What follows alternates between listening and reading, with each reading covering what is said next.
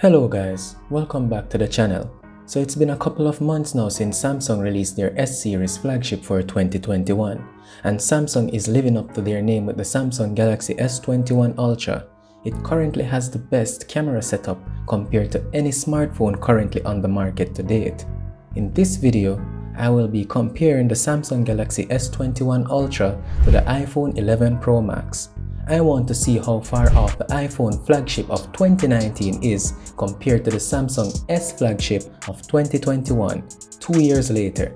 So the S21 Ultra has a total of 5 cameras, a front-facing camera at 40 megapixels and shoots 4K of up to 60 frames per second, a 108 rear-facing wide-angle camera, a 10 megapixel periscope telephoto camera, a 10 megapixel telephoto camera, and a 12 megapixel ultra-wide camera.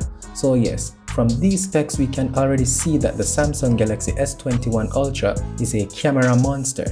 There are quite a few differences on paper with both devices though, like the sensors being used, and also the ability of the S21 Ultra to shoot up to 8K while the iPhone 11 Pro Max is capped at 4K. And the fact that the iPhone 11 Pro Max has 3 cameras on the back and the Samsung Galaxy S21 Ultra has 4 cameras on the back. The S21 Ultra is boasting a 108 megapixel rear sensor now in this comparison, I will be demonstrating video tests from both devices to test the video quality from the rear cameras, the stabilization from the rear cameras, the video quality from the front-facing cameras at 4K 60 frames per second, and also the stabilization of the front cameras at 4K 60 frames per second. For the photography comparison, I will be focusing on the front cameras, portrait mode from the front cameras, portrait mode from the rear cameras, telephoto comparisons, wide angle comparisons, and ultra wide angle comparisons. So let's dive right into these comparisons.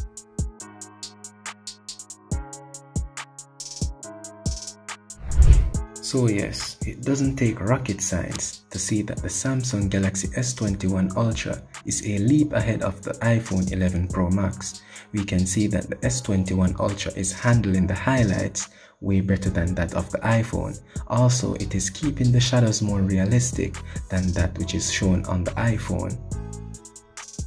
If you can look closely, you can also see that the details on the S21 Ultra is very defined and look way more pleasing and appealing to the eye than that of the 11 Pro Max. Alright guys, so this is a video of the rear camera stabilization. Um, both of them full quality. I'm gonna start running now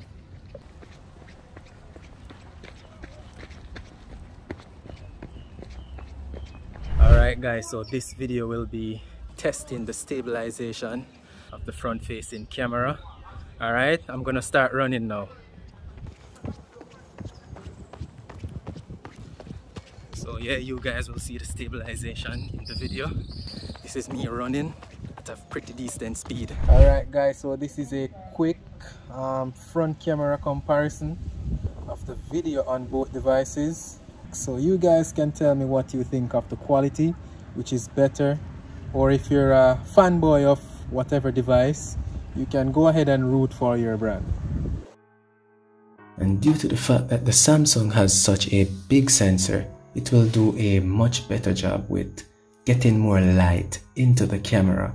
And also the higher megapixel as I mentioned before will equal to more detail and resolution in the photos. Also, Apple was once the king of portrait mode and they started the portrait mode, Samsung followed sadly, but Samsung has taken the game of the portrait mode photography. They are producing crisp and almost DSLR-like portrait shots.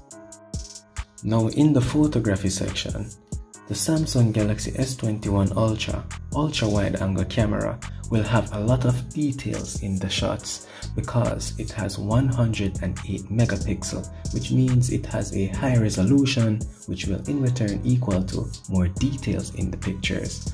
Also Samsung is doing a way better job with the image processing and the sensor is way bigger than that of the iPhone 11 Pro Max. I'm not going to bash or slaughter the iPhone though, it is doing a pretty good job for a 2019 flagship device. I'm gonna show you guys a couple photos I took from both devices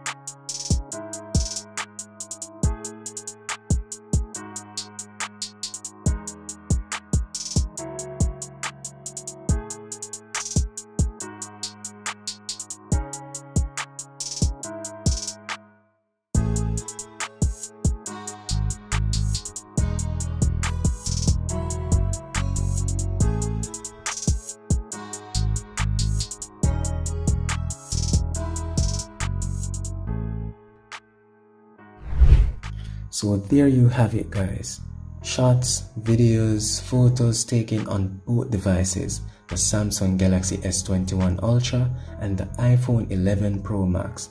I hope you guys found this video informative and also entertaining.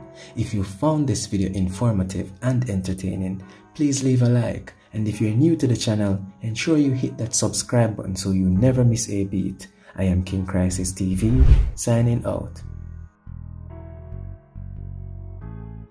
You are watching King Krysis TV.